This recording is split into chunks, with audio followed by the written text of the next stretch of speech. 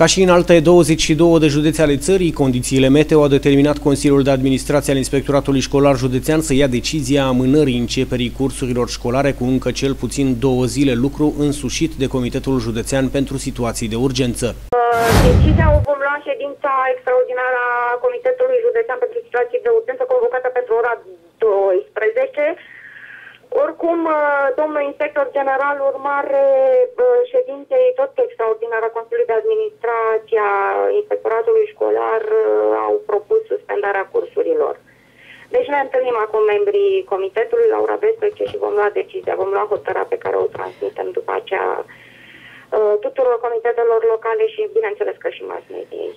Pentru câte zile? Deocamdată Pentru două? și 10 ianuarie este propunerea. Acum, când, în perioada când uh, uh, prognoza meteo cu privire la temperaturi foarte scăzute va la Conducerea inspectoratului școlar explică rațiunile deciziei de amânare a începerii cursurilor școlare cu cel puțin două zile.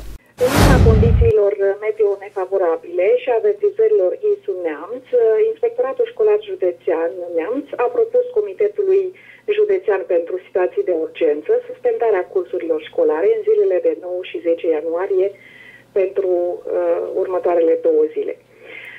Uh, orele neefectuate vor fi recuperate pentru un program special uh, pe care îl vom uh, decide împreună cu directorii unităților școlare.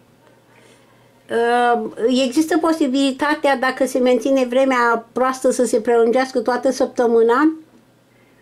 Există posibilitatea în condițiile meteo nefavorabile. Ne gândim la, mai ales la copiii mici care pot întâmpina dificultăți în a ajunge la școală, dar uh, vom uh, menține legătura în continuare cu ISU și în ziua de marți uh, se va decide dacă Orele neefectuate în zilele de prelungire a vacanței școlare din cauza gerului excesiv urmează a fi recuperate în conformitate cu programul propriu al fiecarei unități școlare de învățământ, care va fi comunicat Inspectoratului Școlar Județean, care va monitoriza acest lucru.